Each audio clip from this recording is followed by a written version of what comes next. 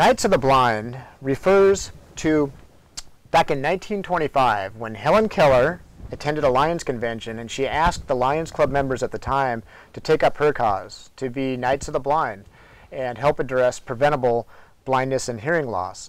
And here in Oregon, in fact here in Beaverton, uh, Lions clubs do an amazing job of keeping that promise that was made to Helen Keller. So on Knights of the Blind, we introduce you to people that, well, are Knights of the Blind. And tonight, I'm very happy to introduce you to Wally Anderson, who is a member of the Beaverton Lions Club and works for the Oregon Lions Sight and Hearing Foundation. Wally, welcome to Knights of the Blind. Thank you very much. So, I understand that you're involved with this mobile health screening program.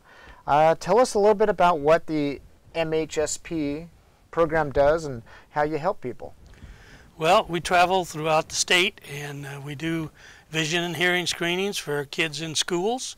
And um, in our public screenings, we do uh, vision, hearing, blood pressure, glaucoma, and diabetes testing.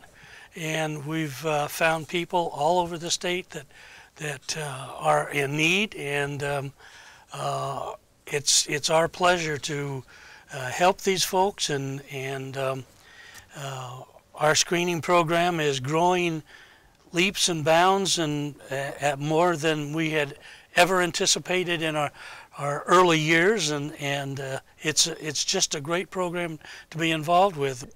In the early days, so we're going to go back in time a little bit to about eh, 1999 or so when you became a Lions Club member.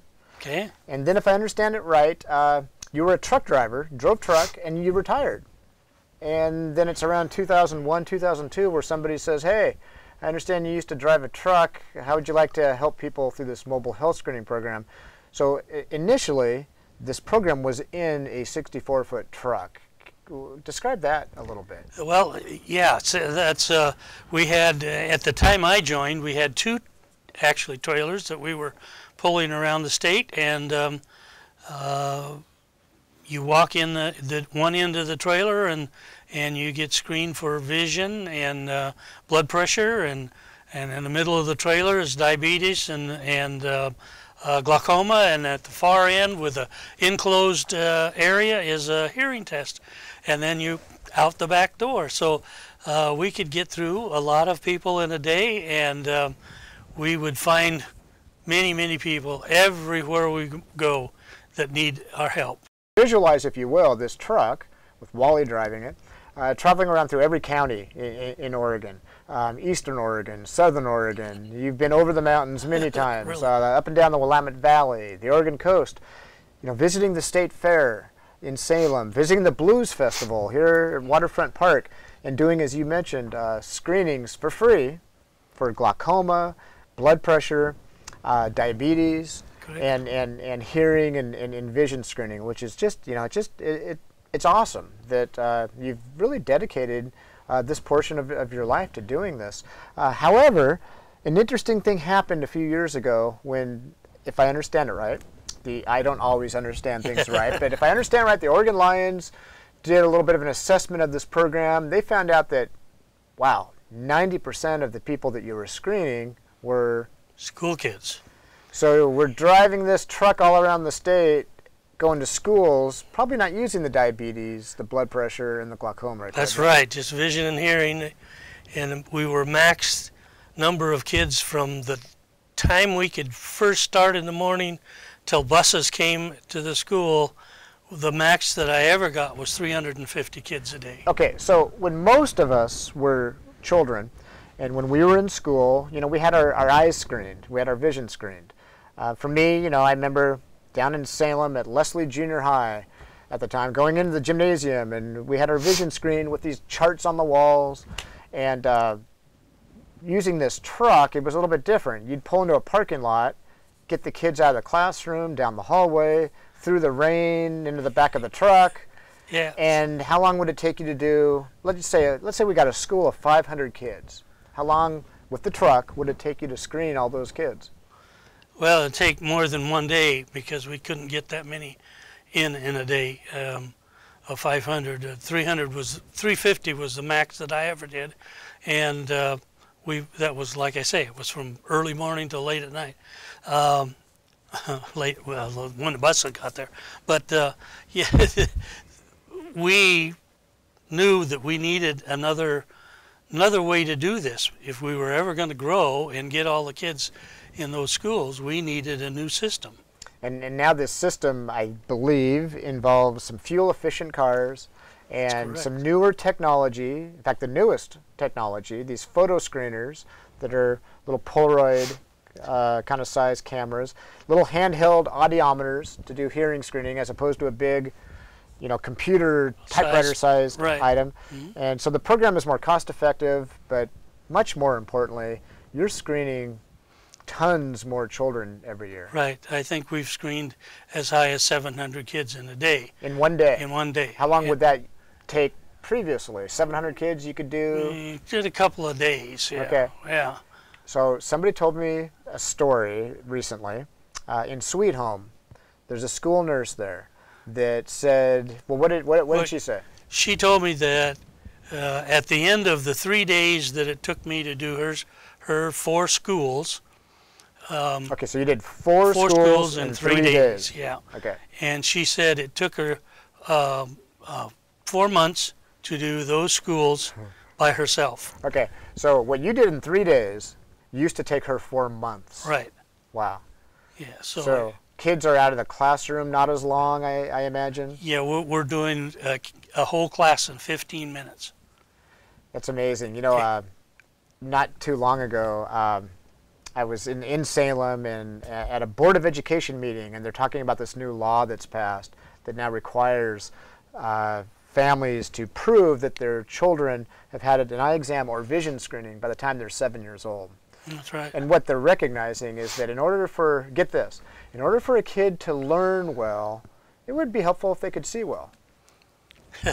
Go figure. Yeah, go, go figure. Um, so this is what you're doing really, is you're traveling around Oregon, Exactly. making sure kids can see well so that they can learn well. Exactly. Can you imagine a child that that can't see well sitting in the back of the room just messing around because he can't see what's going on on the board and until I got my glasses when I was in the second grade, I was that child. Hmm.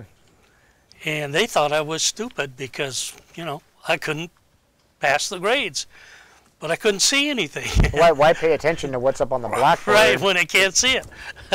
So I imagine there's still kids like, like, like that today. Oh Yeah. yes, I, I we run across them every day, and I, I I find kids that that just break your heart, you know, and uh, you want to help them. You want to you want to reach out and hug them. You can't do that anymore in these these days, but Give them a high five. yeah, yeah, that's about all you can do.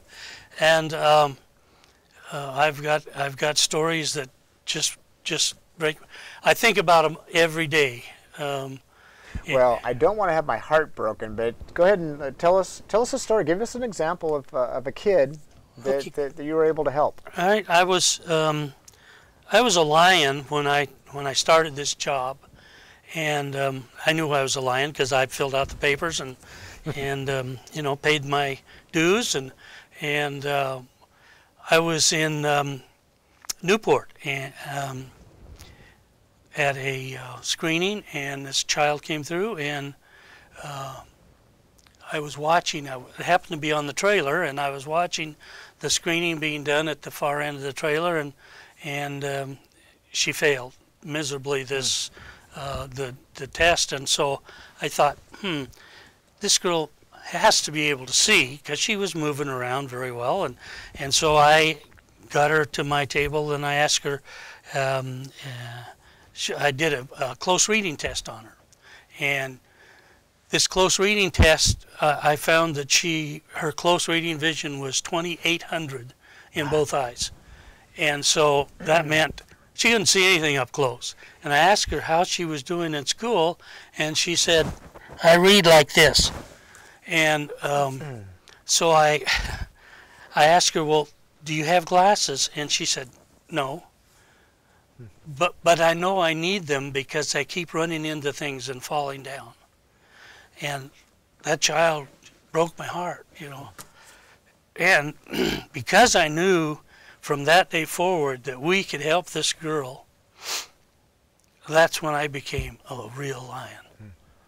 That was my initial story of her. Well, it, it's a great story, and I think it's important for people to understand that uh, you know that was one little girl, uh, and you help thousands and thousands and thousands of kids every year, and you were describing driving around uh, in, in in this truck that uh, would help you screen, I think, maybe 20, 25,000 kids a year, which yes. is really good. Right. So I understand. Um, I like to say that our the Knights of the Blind staff have this amazing research team that gives me these great statistics. And one is that in Oregon, uh, well, vision professionals recommend that kindergarten, first, third, and fifth graders have their vision screened every year. And uh, in Oregon, there's about 165,000 kids in kindergarten, first, third, and fifth grade. So up until a couple years ago, you were screening at your organization 25,000 kids a year, which is really great, but it's not 165,000. That's right. So I've been told about this 2020 vision of one day by the year 2020, every child in Oregon having their vision screened.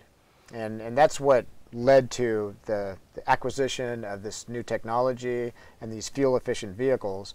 What would you tell a school, a teacher, a school nurse, a principal, if you had an opportunity that was not screening their kids because they didn't have the money for it or they didn't have the staffing for it, what would you tell them that they should do? Well, I would um, plead with them to uh, get a hold of the Lion, uh, Oregon Lion Sight and Hearing Foundation and um, set up a time for us to come out and screen their kids. Um, it's uh, very, very affordable, and we can screen them with very little uh, uh, disturbance for the classes because we can screen a class now in 15 minutes where where it used to take at least 30 to 40 minutes to do a do a class. And uh, uh, so the disruption is very small. The uh, the area that we need to work in is very small. Uh, we don't need uh, the tremendous, um, you know, we don't have the trailer anymore, so uh, we don't need a lot of room, but we just need enough that we can get the kids in and get them out.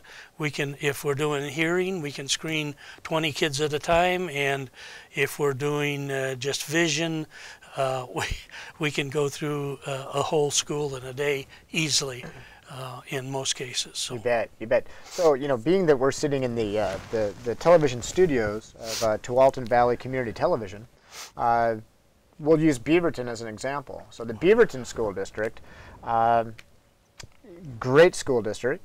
Uh, but we're facing the reality of how are they going to, you know, afford to continue um, to, to provide something that's just not fitting into their budget anymore.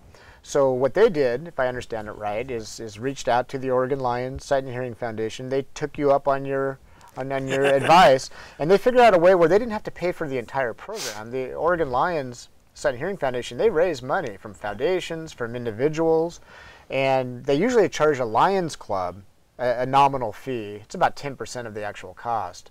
And then they raise the money themselves. Well, the Beaverton School District paid that Lions Club fee. Um, which is really subsidizing the, the program. And the long story short being that because of you, because of the Lions, uh, every every school in Beaverton, every, every, elementary school in Beaverton for the last two school years have had you come in and, and screen uh, their children for vision and I think in hearing also. Yeah, vision and hearing in most in most uh, for the uh, kindergarten, first, third, and fifth, and in uh, the charter schools. Then we did the the other uh, grades in that school in vision only. Okay, so, um, you know, I think most people probably realize that it's really important for kids to get glasses that need them. Uh, but here's the reality is that according to studies, about one in four kids have vision issues, correctable mm-hmm. vision mm-hmm. issues. One in four. Yet less than one in ten kids actually have eyeglasses that need them. And I think for the most part, it's like uh, a lot of kids that you probably see, they don't know.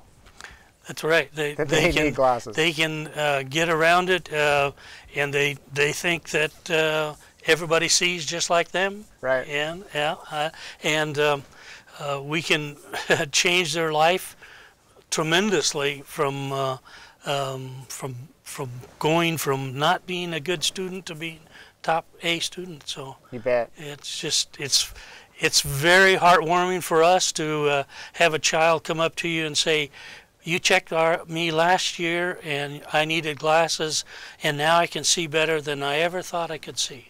Well, and I've heard parents also uh, thank you and thank the Lions for the fact that their, their children used to act up in the classroom. They used to maybe be the class clown or, or, or worse.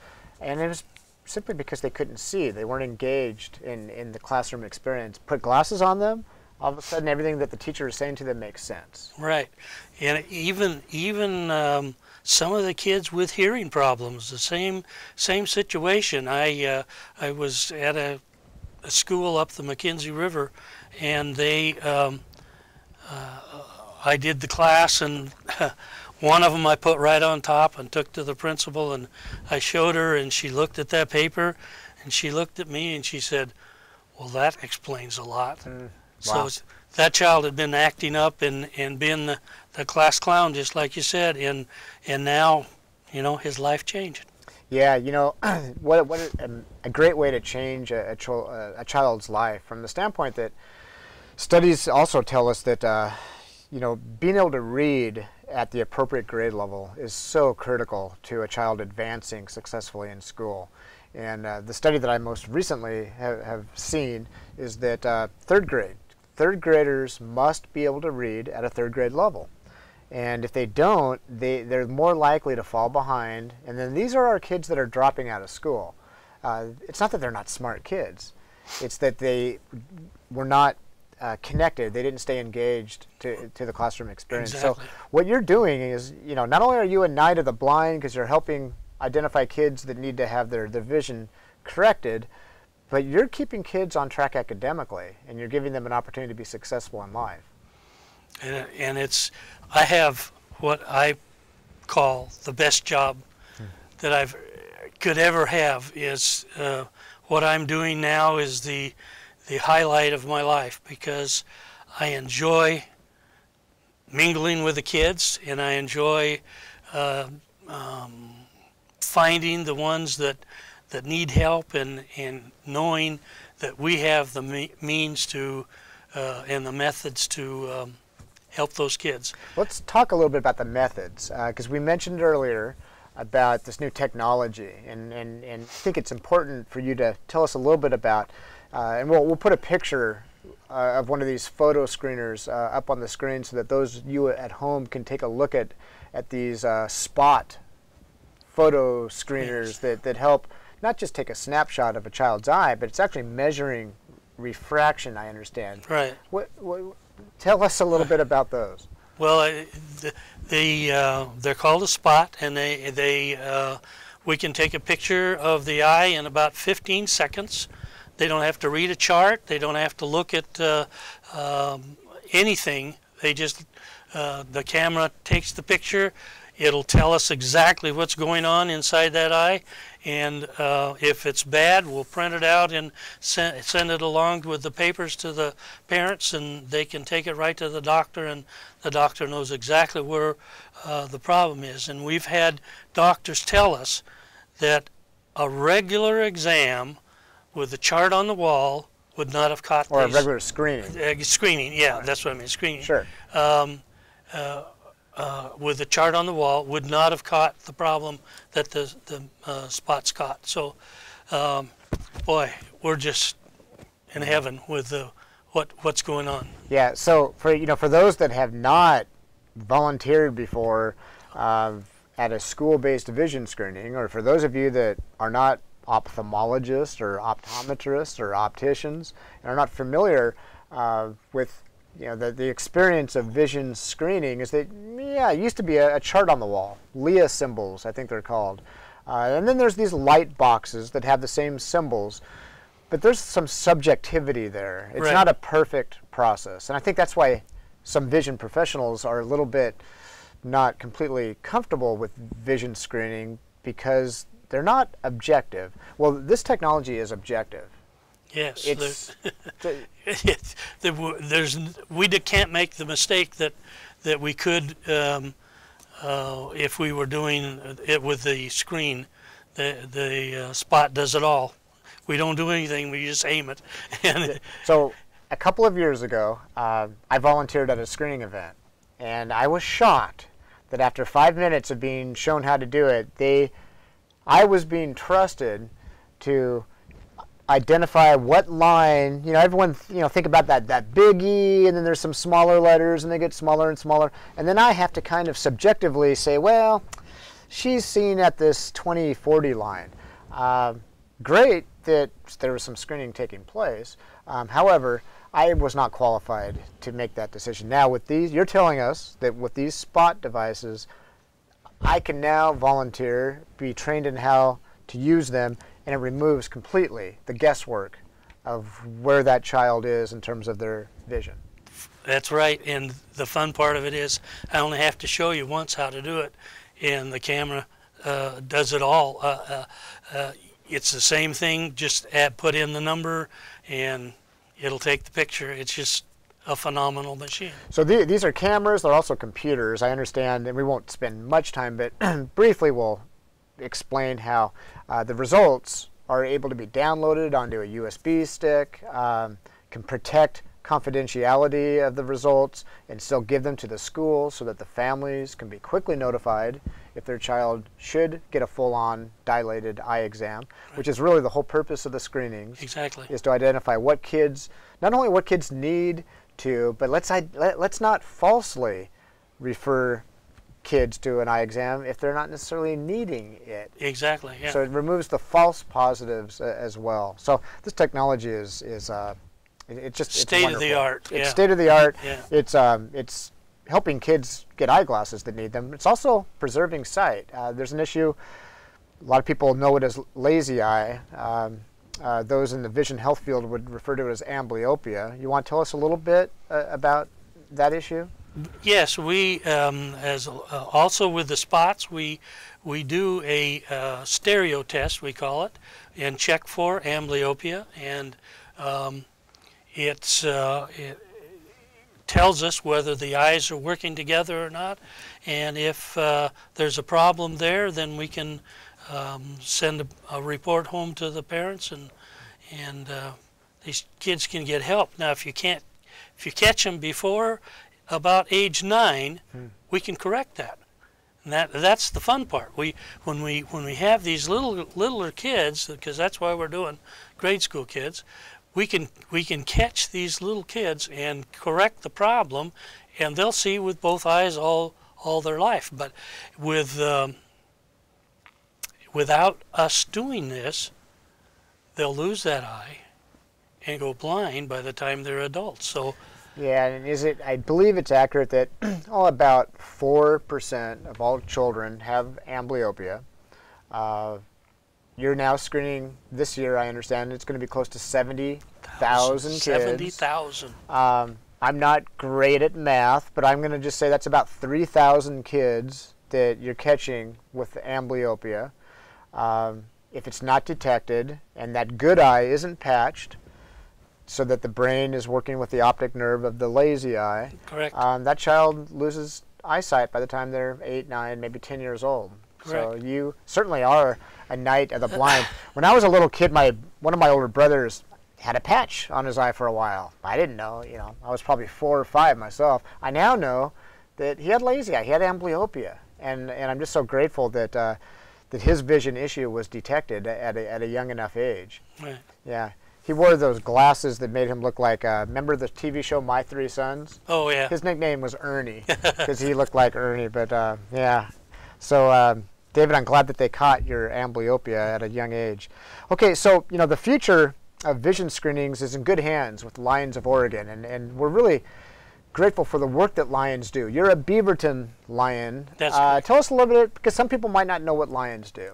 Um, tell us a little bit about Lions. Do you have fun? Do you meet? Uh, Yeah, we every Lions Club sets up their own times, but uh, in Beaverton we meet uh, first and third Wednesdays, uh, Tuesdays of every month, and um, we have an hour meeting, and um, uh, enjoy uh, our company. And we generally have a speaker that comes in, and um, so we learn interesting topics about our, our community.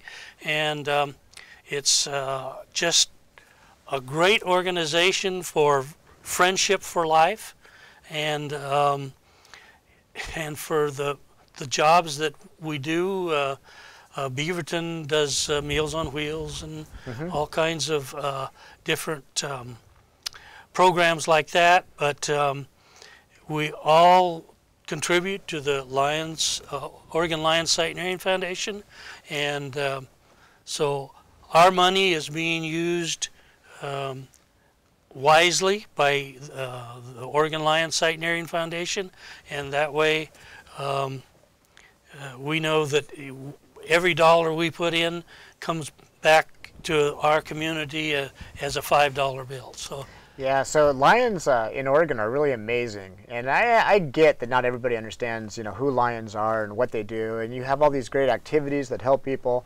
Um, but you know, whether or not you're living in Jordan Valley down in s- south uh, eastern Oregon, or if you're in Astoria in northwestern Oregon, or you know, if you're in Brookings Harbor in in southwest Oregon, or if you're up in Joseph. Uh, and, and Enter- Enterprise, you've been to all these places Yes. screening kids. Uh, regard, or if you're in the Willamette Valley or Central Oregon, if you want to do something of value for other people and maybe help keep this promise that was made to Helen Keller, uh, there's a phone number that uh, is up on the screen. Uh, there's an email address. Uh, there might even be a, a website you know, address up there you can check out um, to find out more information about how you can uh, get involved with a local Lions Club. You wouldn't even have to necessarily join the club. You could help the Lions screen kids, uh, test them for screen for sight, for hearing. Help Lions keep this promise to Helen Keller uh, and be Knights of the Blind. So, Wally, thank you so much for being here tonight, for Thank being a. Knight of the Blind, and thank you for joining us again on Knights of the Blind.